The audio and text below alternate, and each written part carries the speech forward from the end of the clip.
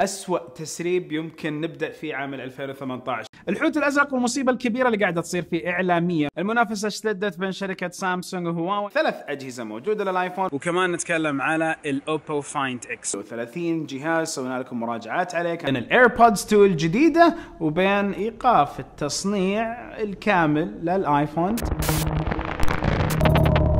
هذه بعض اللقطات من عام 2018 ومرة ثانية السلام عليكم مساكم الله بالخير. حلقة جديدة من الأخبار في العلوم والتقنية. عام 2018 كان سنة جدا جميلة بفضل رب العالمين من ناحية التقنيات المعلنة من ناحية الأشياء الكثيرة اللي شفناها وعاصرناها خاصة في سلسلة الأخبار. طبعا إحنا قاعدين نذكر السنة الميلادية كون إنها نفس عالم الأخبار والتقنيات تدور حول هذه السنة. وأكيد تقديرا للسنة الهجرية أكبر وأفضل. ولكن خلينا نبدأ في حلقتنا هذه ونروح لأول خبر. وأكيد من أجمل الأشياء اللي تم الإعلان عنها مؤخرا في المملكة العربية السعودية إعلان الهيئة السعودية للفضاء.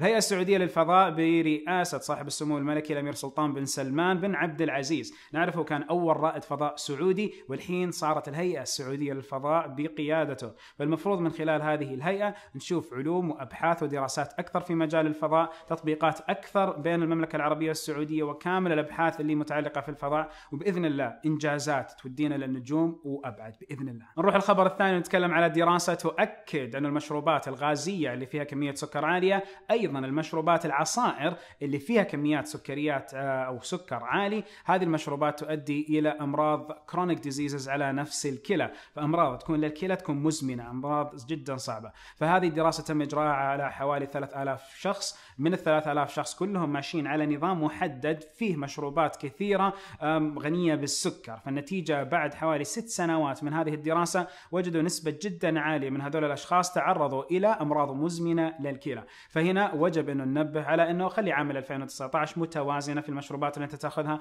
في الكمية اللي أنت تأخذها وعلى الأقل افدي الأمور كلها بكمية ماء كثيرة. اشرب موية قد ما تقدر مع كل هذه الأشياء. أكيد التوازن جدا حسن. ننتقل إلى تجربة تم تطبيقها في الصين عام 2016 على مجموعة مدارس والحين حيطبقوها على مدارس أكثر. التجربة إنه نفس الزي الرسمي حق الطلبة والطالبات اللي في المدارس يتم دمج أجهزة تتبع على نفس هذه الملابس. بحيث إنه جهاز التتبع يبين الطالب وين موجود. أيضا في جهاز إنذار صوتي بحيث إنه الطالب طلع من المدرسة في خارج الأوقات المتاح له والمسموح له إنه يطلع يصير يطلع إنذار على هدومه. فيطلع قاعد يهرب في الشارع ما يبغى المدرسة وقاعد يطلع انذار وهو قاعد يركض فالفكرة أنه يعني جدا جميل تطبيق تقنيات زي هذه في الزي الموحد اللي موجودة في الصين. أتوقع انه الكثافة السكانية عندهم يحتاجوا حلول تقنية للتحكم في الطلبة بشكل أفضل كون أنه كثافه سكانيه عالية جدا. بالإضافة إلى تجارب هذه قاعدة تعطينا إحنا أفكار جميلة. وأتوقع أنه جميل لو صار عندنا في المدارس.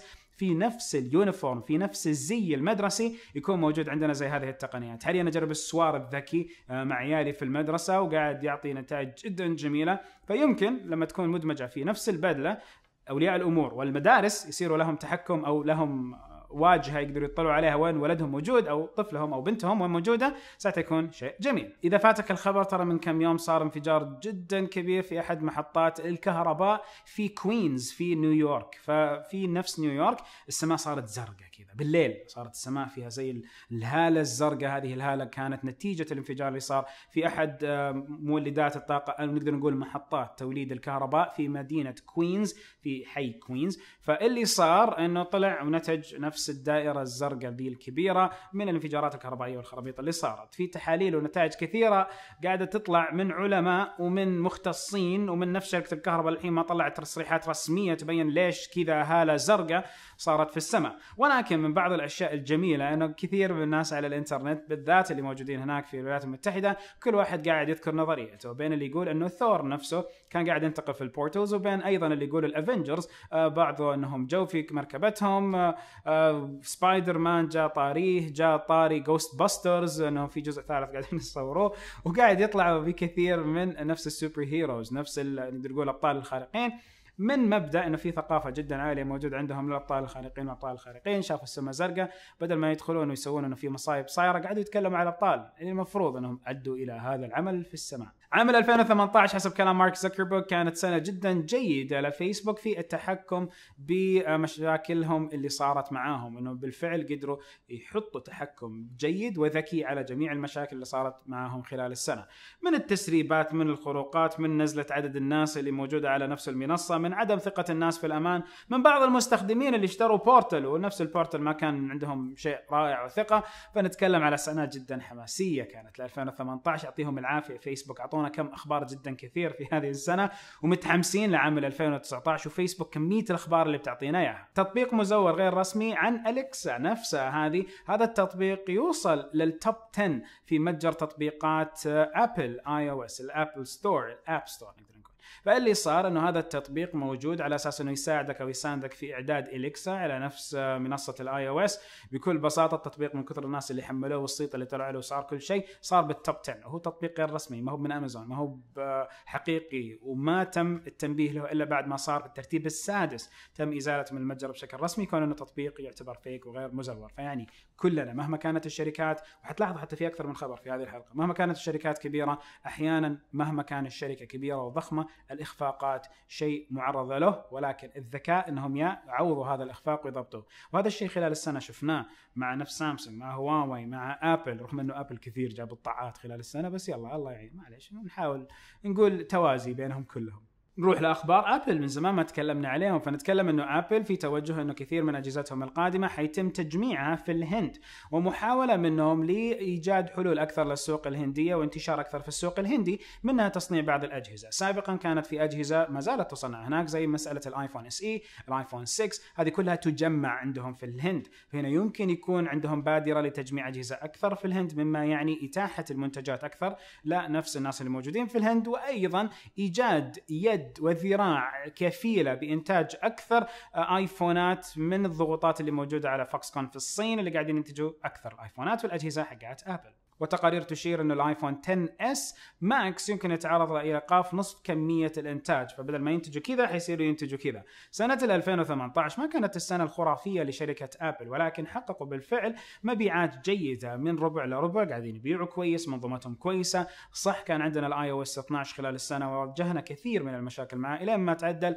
التحديث الأخير اللي ضبطوه 12.1.2 الناس تأذت منه بشكل ما وبعدين الناس بدأت تضبط معاها الأمور. لا تنسوا فقدان في شبكة الواي فاي فقدان في الاتصال ومشاكل. فإذا سنة كانت صعبة على آبل واجهوها في النظام التشغيلي وأيضا واجهوها في أجهزتهم. السنة الجاية وش جايبة؟ إن شاء الله نشوف أشياء تحمس وبإذن الله نشوف نظام تشغيلي أكثر ثباتا. وعلى سيرة ال iPhone ات في واحد شب جواله بدأ جواله بالحريق أثناء ما كان في جيبه يعني بدأ يندلع بالنار.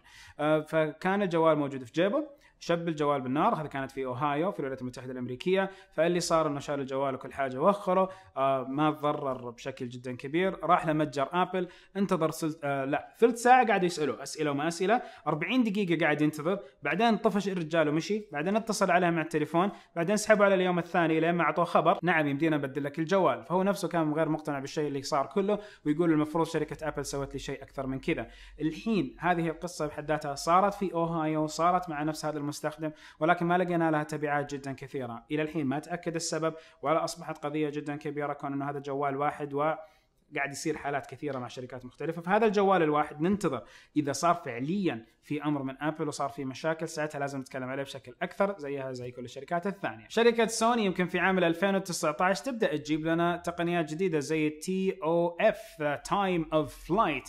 هذه التقنية ستتيح المجسمات ثلاثية الأبعاد إنها تقدر تنشأ على الجوال بشكل أفضل. عندهم already الحساسات اللي شغالين عليها على تقنية ال TOF هذه الحساسات يمكن ترى النور في الجوالات الذكية بشكل أكبر حقت نفس سوني سوني للأسف عام 2018 ما كانت السنة الخرافية لهم ولكن يظل انه عندهم شيء جيد قاعدين يقدموه من ناحية حساسات الكاميرات من ناحية بناء بعض التقنيات ونتمنى عام 2019 سنة كويسة ورجعة كويسة لنفس سوني. وأتوقع زي كل سنة CES لما أروح الأسبوع الجاي بكون هناك إن شاء الله في فيغاس حيكون في تقنيات صوت أكثر حيتم الإعلان عنها من نفس شركة سوني. فأكون معاكم فتابعونا هناك. أروح الحين لشركه نوكيا وال PureView نوكيا 9 PureView هذا الجوال متوقع يتم الإعلان عنه في مؤتمر منفصل نهاية شهر يناير. هذا الجوال بيحمل خمس كاميرات وفلاش وحساس موجودة في الجهة اللي ورا. الجهة اللي ورا تحس بالفعل الجوال كأنه صفاية مو كأنه أكثر من شيء. بعد يشوف وقتها لا صار المؤتمر. كنت هناك إيش بقول على الجوال؟ فهذا الجوال المفروض إنه يعلن نهاية آه، شهر يناير يحمل أهم أو نقدر نقول أحدث معالجات كوالكوم Snapdragon حيكون في بطارية جيدة ولكن كل العين على هذا الجوال في ميزة الكاميرات الخمسة. وكيف حتقدر تستغل نوكيا هذه الكاميرات الخمسة؟ بإيجاد تقنيات جديدة. عودة PureView عودة حسنة لنفس النطاق مع جوالات نوكيا إنهم سبقوا لما طلعوا لنا PureView 808 كان جوال خارق بالإمكانيات وبالكفاءات اللي يجيبها. الحين لما نجي على نهاية الأخبار خلينا نتذكر بعض الأشياء اللي صارت في عام 2018 فشركة هواوي كانت من الشركات اللي جالها أخبار بكم مو طبيعي سواء الأخبار اللي من جهتهم يحاولوا يجيبوها معانا أو الأخبار الإعلامية اللي صارت. ولكن أثبتت نجاح جدا كبير شركة هواوي في عام 2018 من جودة في جوال ال Mate الأخير ومن انتشار في جوال ال P. اللي كان موجود اللي هو ال P 20 لهذه السنة. لو رحنا لشركة سامسونج سامسونج كانت سنتها جميلة جدا بتقنيات ناضجة وتقنيات جدا حسنة. وأكيد مع ال Note 9 شفنا مسيرة تستمر ومتشوقين لشيء جديد. سامسونج أيضا أعلنوا عن بعض التقنيات الجديدة من ناحية الشاشات، الشاشات المنحنية، الإمكانيات اللي يقدروا يسووها في الجوالات ومتشوقين لبداية سنة مثيرة للاهتمام مع سامسونج وإطلاقات كثيرة. آبل تكلمت عليهم في الحلقة وشركات أخرى شفناهم جو وراحوا بشكل سريع زي HTC، سوني، أيضا LG LG اللي نوعا ما تحسهم ما كانوا موجودين السنة. قاعدين آخر الصف كذا في الحصة ما قاعد يشارك ما قاعد يسوي شيء. أحيانا يقول آه بس الجوال ذا. وبعدين ما يطلع الجوال ولا يقول شيء. فننتظر سنة كويسة ل نقدر نقول شركة LG وغيرها من الشركات. شاومي رسميا جت وراحت المملكة والحين المفروض إنها رجعت بشكل رسمي. فمتشوقين لسنة حافلة بالإنجازات بإذن واحد أحد. كلنا هنا وفريق Tech Pills نقول لكم الله يجزاكم خير وشكرا لكم لكل متابع لكل واحد حط لايك لكل واحد سوى معنا أي شيء في هذه الحلقات. نهاية الحلقة وكل حلقة في عام 2018 أشوفكم السنة الجاية. حلوة دي. وأيضا سبحانك اللهم وبحمدك أشهد أن لا إله إلا أنت أستغفرك وأتوب إليك. أشوفكم على ألف خير يا جماعة.